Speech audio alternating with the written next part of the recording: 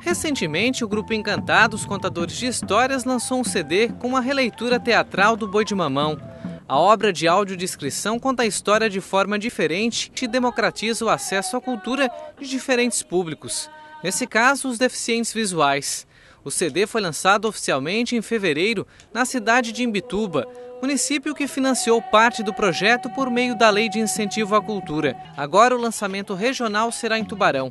Após a apresentação da obra, será realizado um seminário que abordará a acessibilidade nos produtos e eventos culturais da região. E com o trabalho da produção do audiobook Boi Encantado, uma história cantada, que é levar a cultura do boi de mamão né, para pessoas é, com necessidades especiais sobretudo para os cegos, né, nos mostrou para o grupo Encantados Contadores de História, que é o, o, promotor desse projeto e também o promotor do Seminário Cultura e Acessibilidade, que a realidade é muito diferente, a realidade é muito ampla e é preciso muita discussão e, sobretudo, muita informação da sociedade sobre esse tema. Silvana menciona que ainda é preciso avançar muito neste assunto, principalmente na produção de conteúdos voltados para os portadores de necessidades.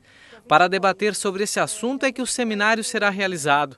Além de produtores culturais, gestores públicos e pessoas da comunidade que se utilizam de ferramentas inclusivas são convidadas para participar e debater o assunto. Então, ah, na nossa região ainda é um pouco mais difícil ver produtos voltados para esse nicho, as instituições fazendo esse, esse, tipo de discussão, né? E as pessoas em, em geral é, tomando esse tema como um tema relevante para a sociedade, para o cotidiano, para o dia a dia. Porque se a gente não informa, se a gente não discute, a gente não acaba não não possibilitando a criação de políticas públicas que amparem esse, esse, essas pessoas, né? essas parcelas da sociedade que não são tão pequenas quanto a gente imagina. Na oportunidade, o grupo fará a doação de CDs para bibliotecas e entidades que realizam trabalhos com pessoas com deficiência visual.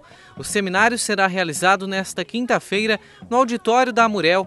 As atividades começam às duas horas da tarde. Nós, infelizmente, não conseguimos uh, do, fazer doação né, generalizada do, do produto, porque esse produto ele foi produzido pela Lei de Incentivo Procult do, do município de Imbituba, com parceria do, do ASC Par Porto de Imbituba e outros parceiros que a gente conseguiu para poder viabilizar esse projeto. Então a nossa cota de impressão ela foi muito pequena, por isso que a gente está privilegiando as instituições, porque por meio das instituições a gente amplia o acesso né, ao material.